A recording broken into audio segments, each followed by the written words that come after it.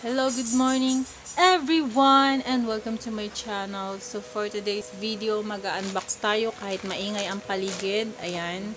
Actually, one week mahigit na to na sa akin. Hindi ko pa rin nabubuksan. Um, this is pencil eraser. A white pencil and ano nga tawag doon? Um, pencil eraser. Something like that. So, yeah, umpisahan na natin ang pag-unbox. Ah, kahit maingay ang paligid, go lang lang natin. So, kamay-kamay muna tayo ngayon. And, ayan, may nagrarap sa sala. Ang aking ama at ang aking ina. So, let's open this one. Kamay-kamay muna tayo, kamay-kamay. Unbox, unbox. What's inside the box? So, na-miss ko mag-unbox. Ayan, ito na siya. OMG, ayan na siya agad. The bubble wrap. Wow! Look at this. So, mayroon na akong white pencil. Masyado siyang malabo. Ayan! Kitang-kita.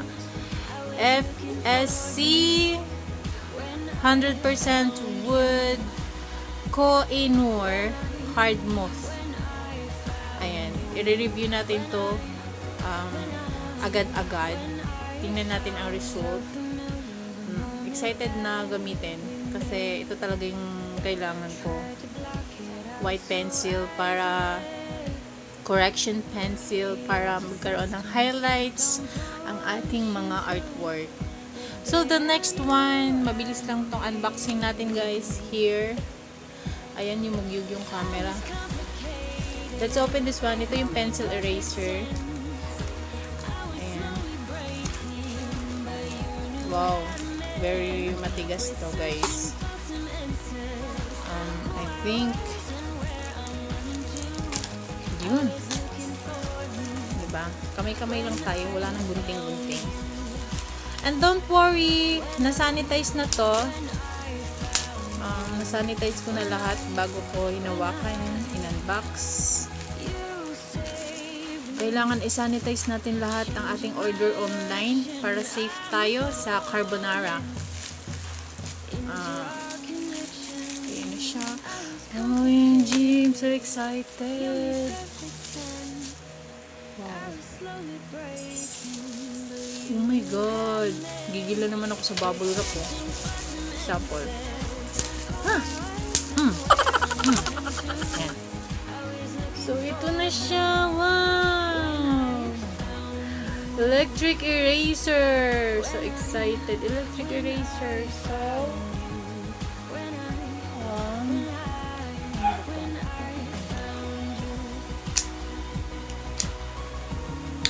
siya? So excited. Ano ba to?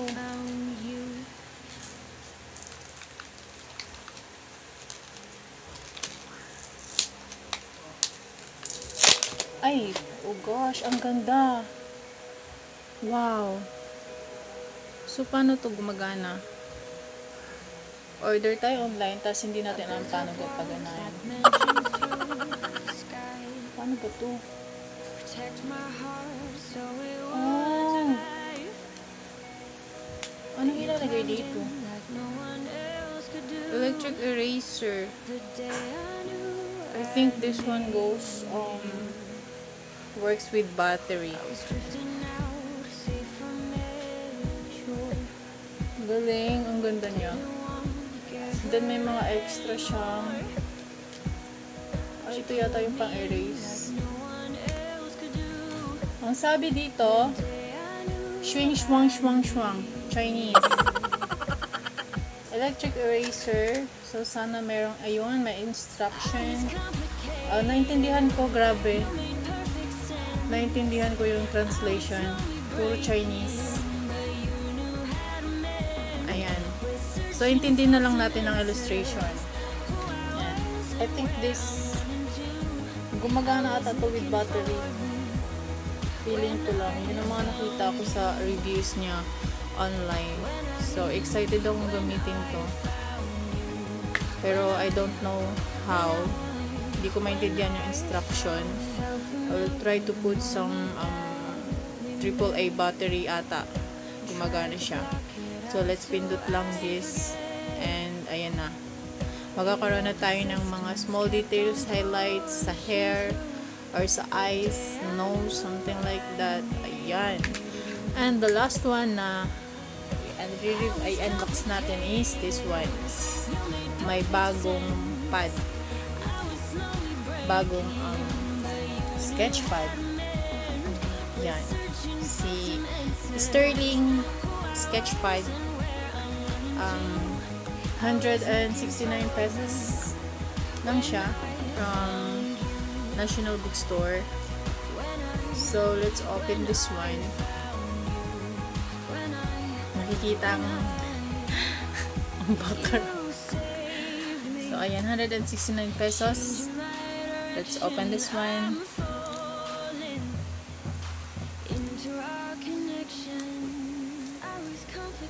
Ayan, medyo mahirap siya tanggalin.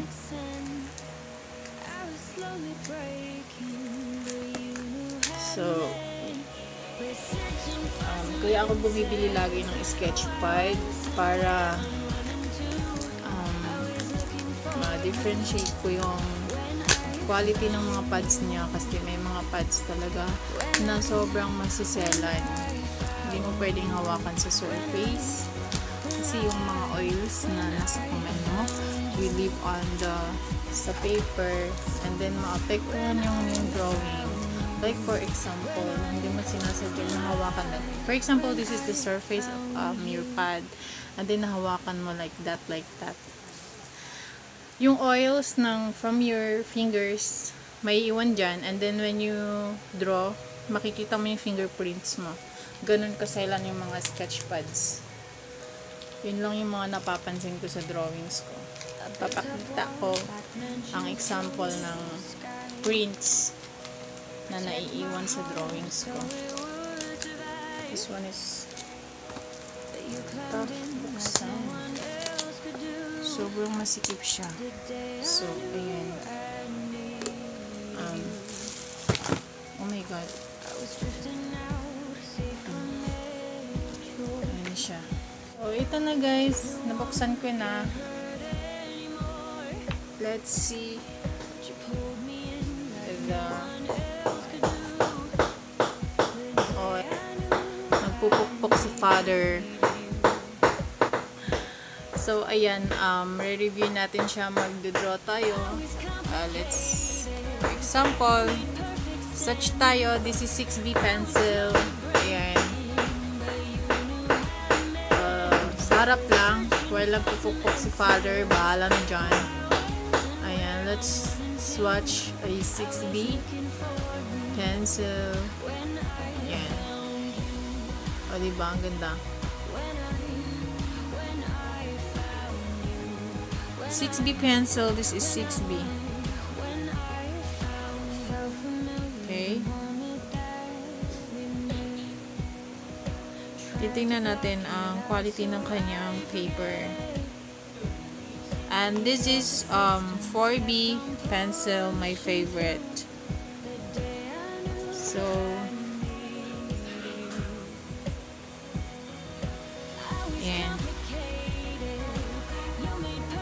And this is um, 2B pencil. 2B. Yan lang usually pencils na ginagamit ko for my drawings. And then let's blend it.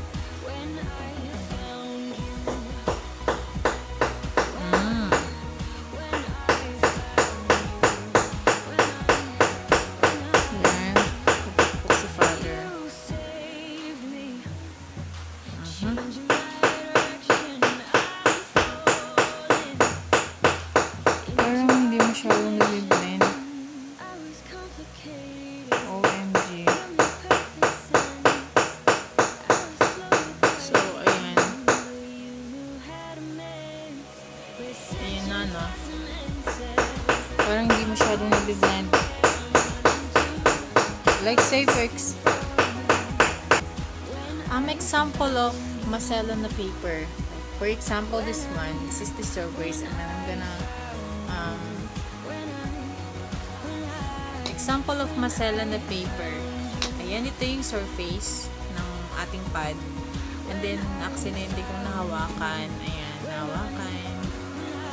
Let's say, for example, ayan, nahawakan ko siya. And then, let's um, try natin mag blend sa paligid. Yan. Kita nyo the result. Ayan yung aking fingerprint. Naglalabasan na siya. So, sobrang selan talaga ng papers ng mga kita nyo yan. Kita nyo ito. Ayan. For example, this one. Ayan. So, Ayan, ganyan yung mga sinasabi ko sa inyo. Sobrang sela ng mga papers. Ayan, this one. Ayan yung mga prints ko. Ayan, ganyan siya kaselan. Pero pagdating sa blending, parang hindi masyadong nagbe-blend.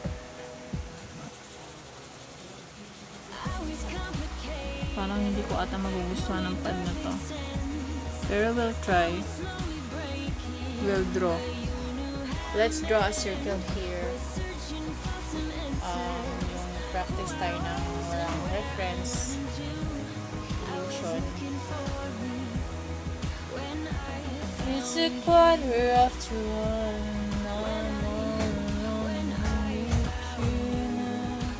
So let's say for example that here is the light. Ayan, nandito yung light. So, let's um,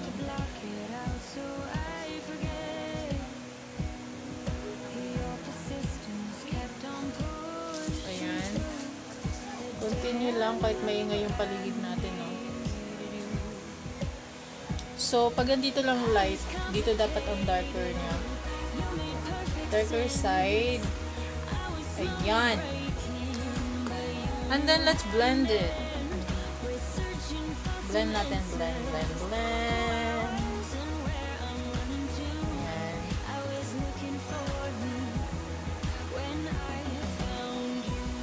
Sabi sa napag-aralan ko, realistic portraits daw is walang I mean, walang line, darker line sa gilid. So,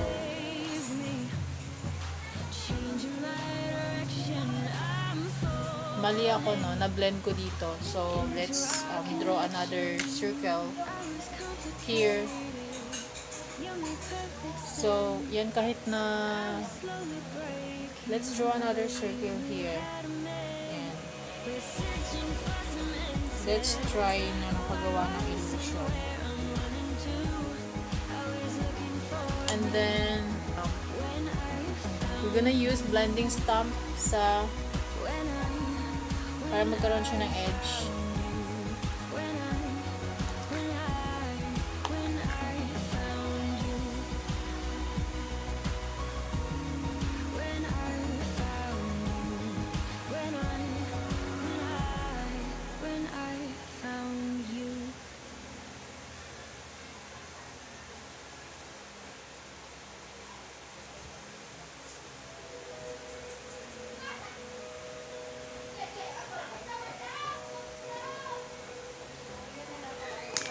So, erase natin. It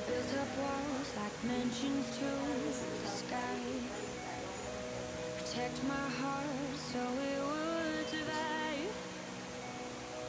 That you climbed in like no one else could do. The day I knew I needed you. I was drifting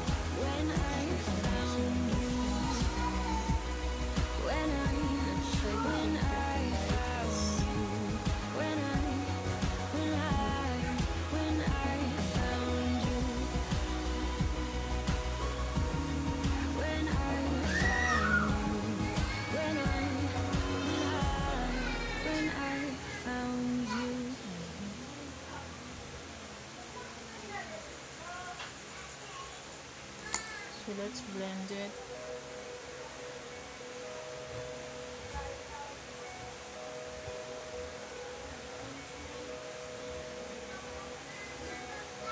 I built up walls like mansions to the sky. Protect my heart so it would survive. But you climbed in like no one else could do. The day I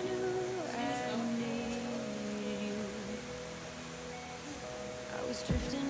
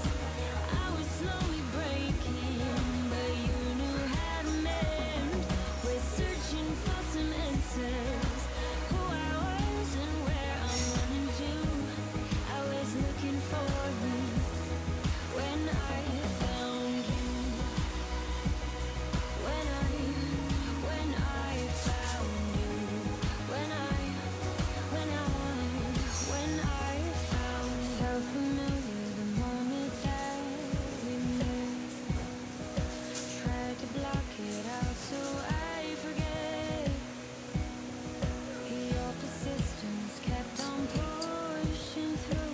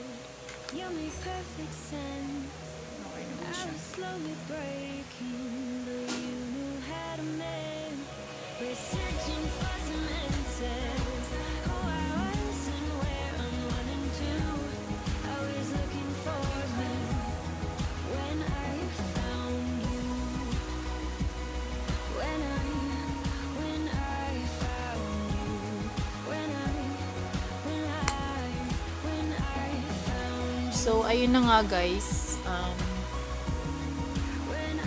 gumawa ako ng, nag-draw ako ng circle na bilog. Oh, circle na bilog. Nag-draw ako ng circle na object. And then, um, so, illusion. Let's say for example that this is the, uh, here's the light. Nandito yung direction ng light papunta dito. So, ito yung highlight ko. So, ayan. Ito yung circle na object.